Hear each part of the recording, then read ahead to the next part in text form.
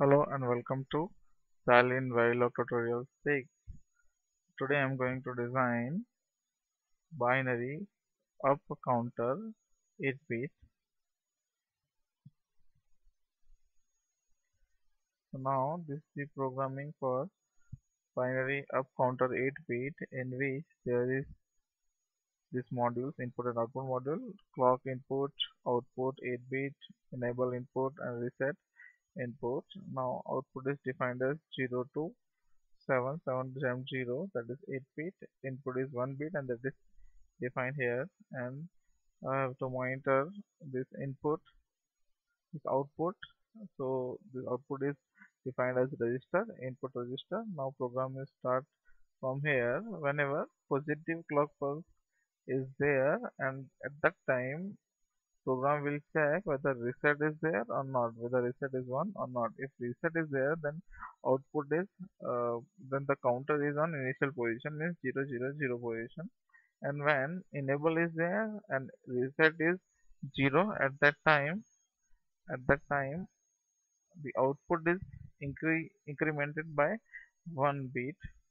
So this is the, the simple programming for 8 bit up counter. And I have to synthesize this save and synthesize.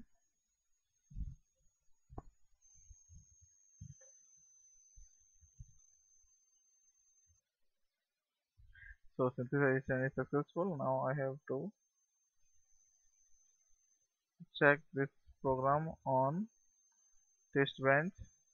So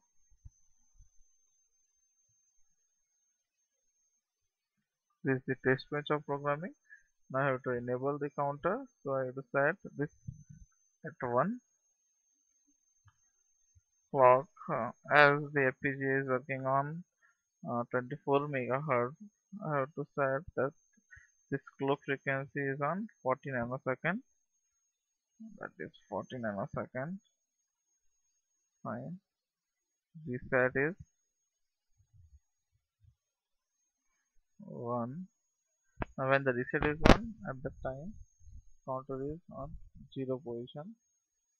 When reset is 0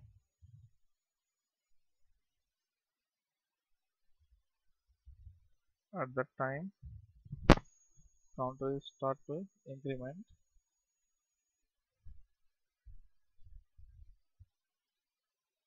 See the counter is incremented by one bit and going to one one one one one one one bit. And so this is the simple binary 8 bit up counter. Thank you